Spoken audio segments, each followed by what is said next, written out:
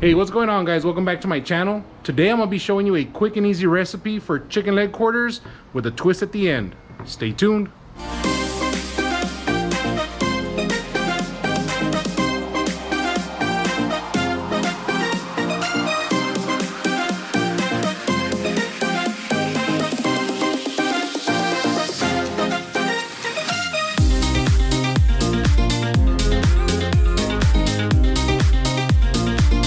Not only is this recipe quick and easy, it's also uh, very inexpensive.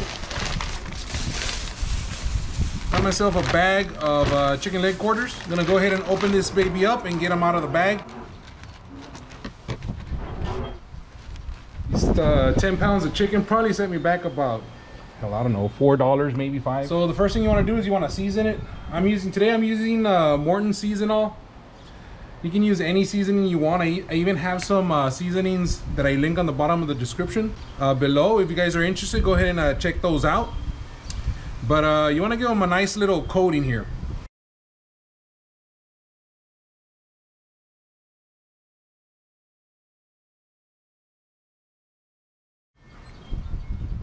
I'm being overly generous because as soon as you put them in uh, somewhere else, you move them to, like, like I that bowl that I'm moving, some of it is gonna come off. And I'm probably even gonna add some of this even after the fact, depending on, on if it falls when I'm when I'm putting them in the barbecue pit. Don't be shy. Worst case scenario, you over season the, the skin and you can just take that baby off if, if you think it's too much. So now that your chicken is nice and seasoned, the next thing you want to do here is you want to, of course, turn on your barbecue pit, light it up. Um, again, check out my links, uh, uh, or not my links, but check out my other videos. I do have a lot of, especially if you're new to grilling, smoking, or backyard barbecue, check out my videos. I have a lot of, my, my content is geared to, towards people who are novice or just starting off, and um, they have a couple of questions they want answered. So the first thing you want to do here is you want to light up your pit. You want to get your grate nice and hot, and then uh, give it a nice little cleaning. I got this baby from Grillaholics, right there, Grillaholics. Um, this one you, uh, I have a link on the description below as well. So if you're interested, they'll give you a 20% off using this promo code, The Smoking Beard. So what I usually like to do, I just don't have one today right here, just because it's what I normally do.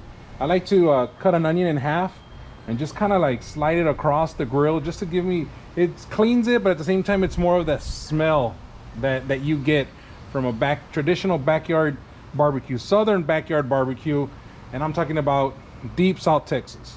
All right here we go. Next step lay the chicken down and then i'm going to give you a couple of tips that i recommend whenever you're cooking this. What i also like to do here is uh before I put the chicken down or any type of food down, I like to uh, spray it with canola or vegetable oil. Helps out.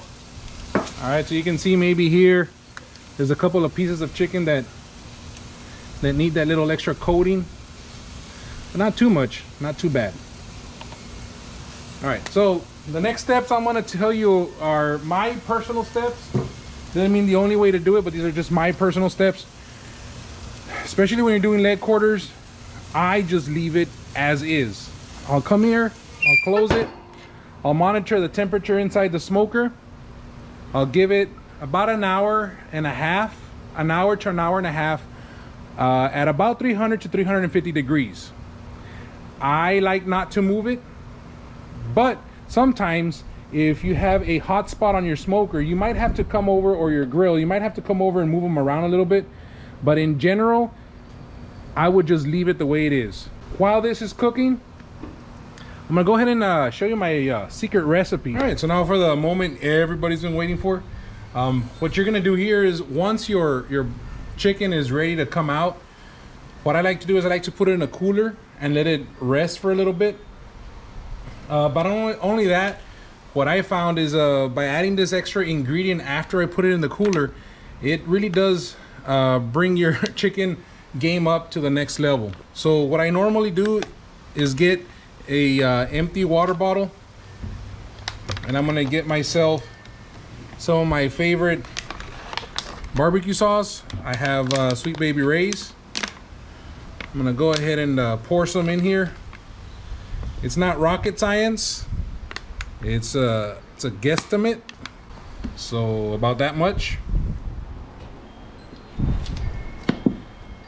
Secret ingredient number one. Secret ingredient number two here is gonna be some of your pineapple juice. All right, so for this one I will put my little funnel, shake it, well let me open it, let's get some air in it, shake it up.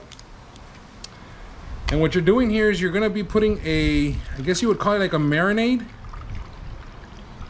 but after the fact. It's an after the fact marinade. Let that baby get in there. Close this up. Shake it around. And this you can make as much or as little as you're gonna need. I'm gonna show you what you're gonna do with this once I'm ready The for next that step step. here, I would recommend you line a cooler with some heavy duty aluminum foil. So this is what you kind of want it to be like, kind of like a pocket of foil. Start pulling out the chicken. All I'm gonna do here is I'm gonna lay these flat on the cooler. You know what? I'm gonna put this on the floor so you guys can have a better view of it. See what I did here is I did not move them at all. I did move them around the barbecue pit a little bit, but I didn't. I wasn't messing with them too much. Took about an hour and a half. You get a nice little golden brown look to these babies. Man, they smell good. All I'm doing is trying to layer them there as much as possible, as evenly as possible.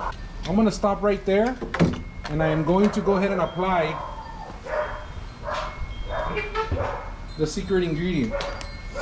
There's no uh, nothing special about this. The application, you just drizzles them all over.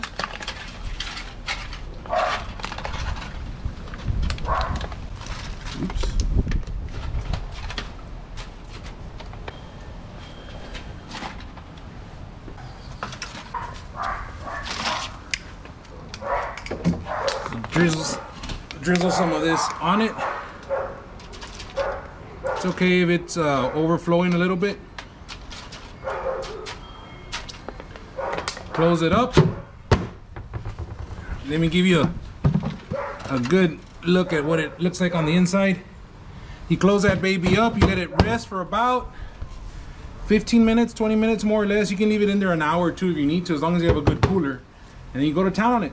It's as simple as that. Try this recipe out. Let me know what you think in the comments below. Thank you for watching. I'll catch you guys on the flip side.